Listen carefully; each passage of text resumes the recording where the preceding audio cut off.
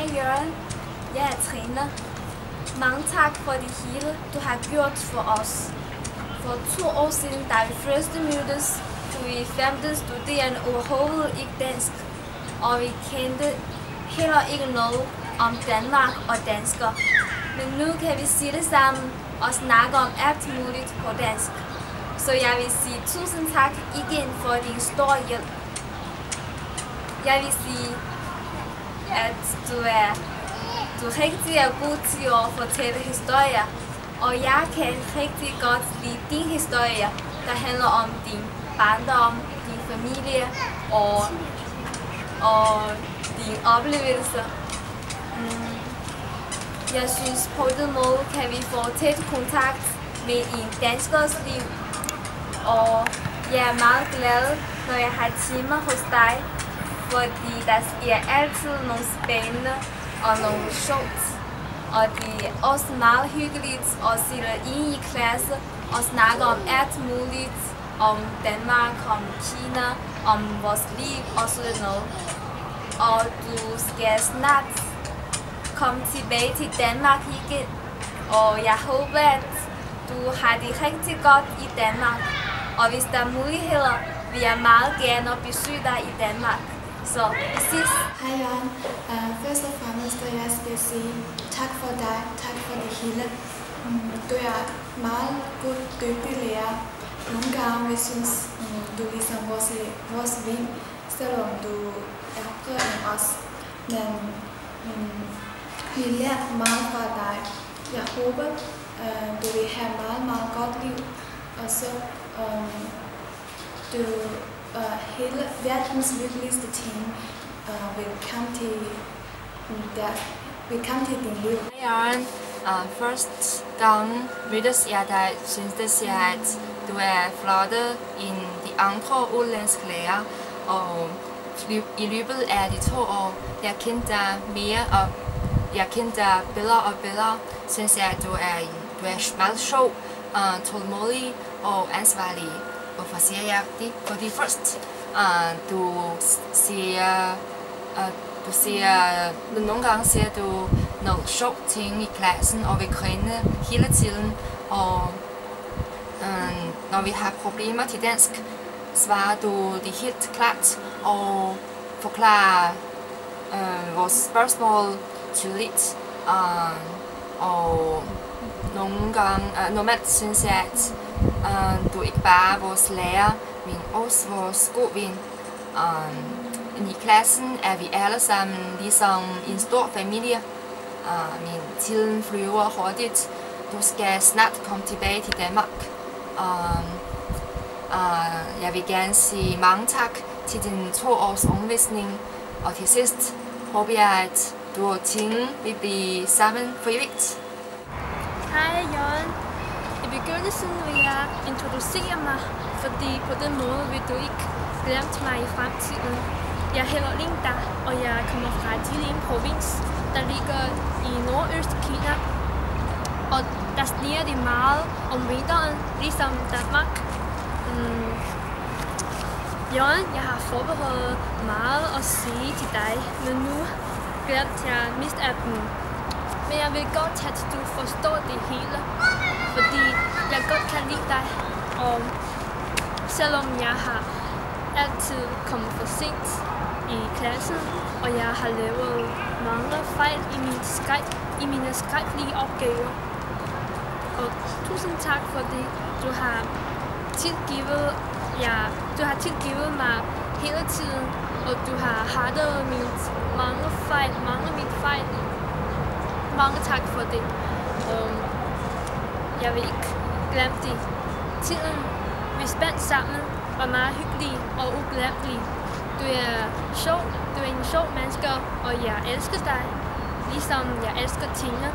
Og nu er jeg gift, så hvor lykkelig det er.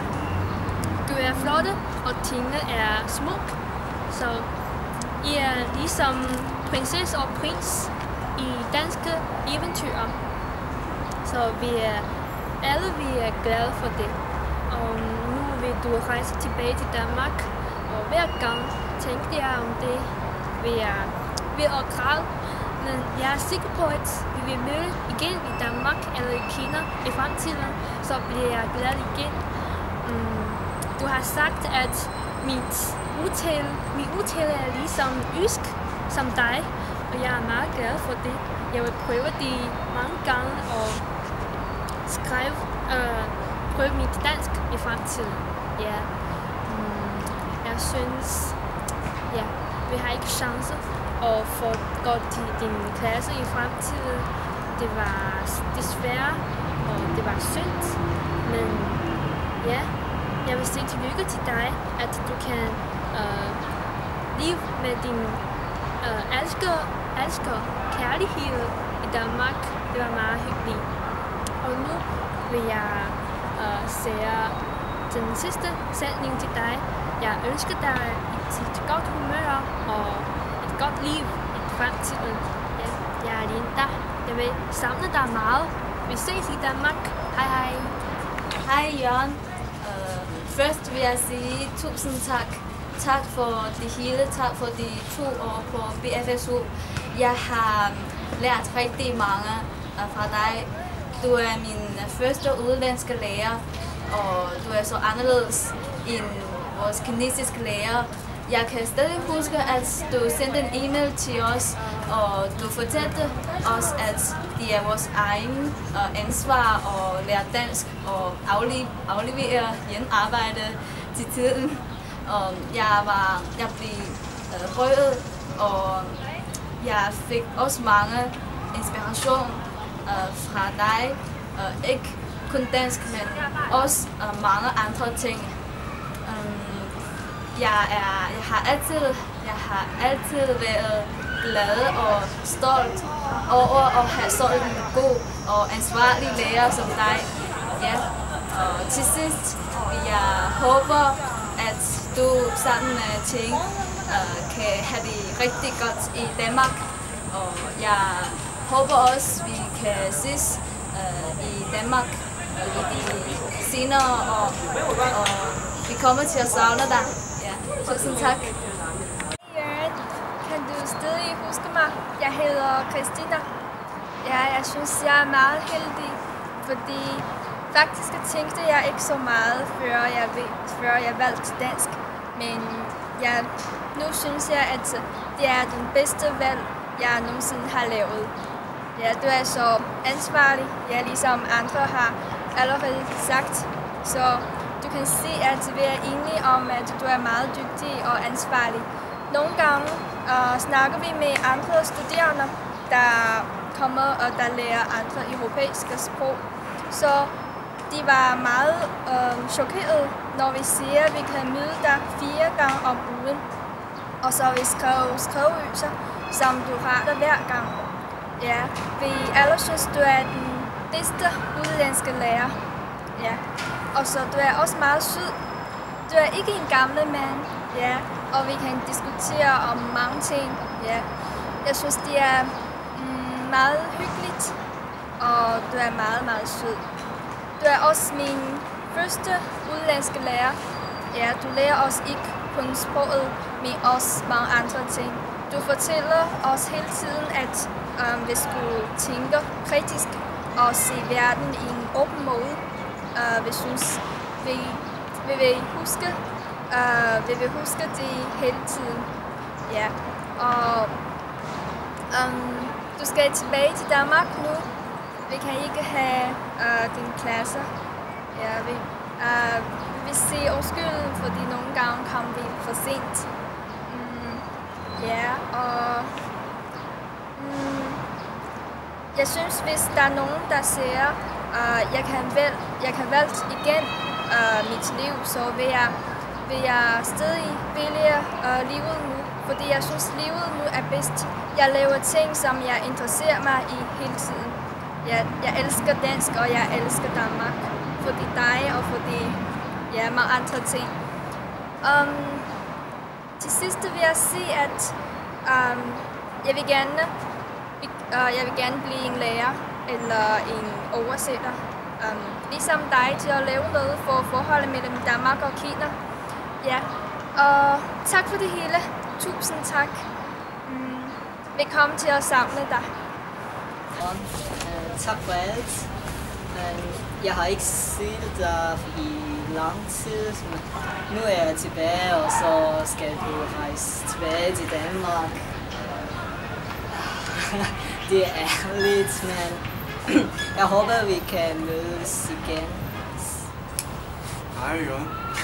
Det er uh, det er ikke så længe siden, hvad? Uh, jeg vil være ærlig til at sige, jeg har haft en virkelig god oplevelse i de sidste to år uh, ved min dansk undervisning. Så først vil jeg sige uh, tusind tak til. Um, du er jo den første dansker at kende. Jeg synes, du er, uh, du er rigtig flink og dygtig og ansvarlig lærer. Og jeg synes også, du er lidt lykkelig, fordi du har en, en rigtig uh, smuk og dejlig og lækker krop. Så jeg håber, at uh, du kan leve hyggeligt sammen med ting i Danmark i fremtiden.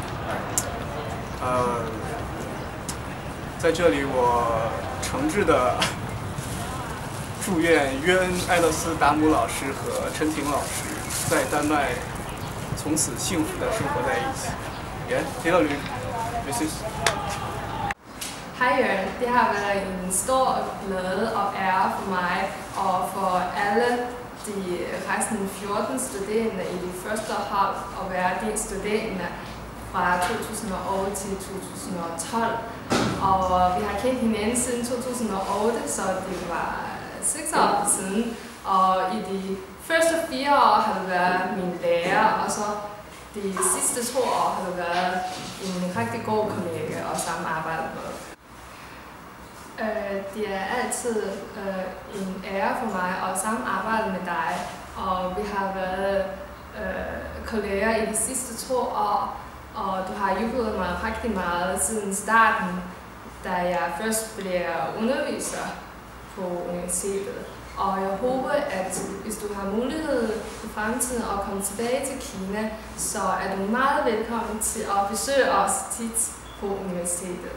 Og jeg var rigtig glad for, at jeg kunne møde dig og have dig som min lærer. Og jeg har lært rigtig meget fra dig, og du har altid været meget sød og venlig og hjælpsom til alle de studerende. Og jeg synes, at øh, vi skal ses hinanden tit i Danmark, hvis vi har mulighed i fremtiden. Og jeg håber, du har det rigtig fint i Danmark i fremtiden. Vi ses i Danmark. Kære Jørgen, øh, det er meget beklageligt, at du er ved at gå tilbage til Danmark. Men øh, Øh, for det første vil jeg sige tillykke for et meget resultatrige arbejde øh, på universitetet. Du har uddannet, uddannet de første to grupper af kineser, som har lært dansk i selve Kina. De allerede øh, blevet, øh, blevet gode medarbejdere i de forskellige institutioner, øh, nogle af dem også i Danmark. Øh, det nyeste hold er ved at blive færdig med studiet i løbet af to år. Og jeg takker dig også meget for det godt samarbejde mellem os. Jeg er meget stolt af, at vi fire, som har startet det danske undervisning i Kina. Og for det andet, jeg vil ønske dig meget godt liv og tilbage i Danmark. Jeg har været i Danmark i flere end 17 år. Jeg har mange venner der, så jeg vil bede dig til at medbringe alle mine hjerteligste ønsker, ønsker til dem. Held og lykke. Tak.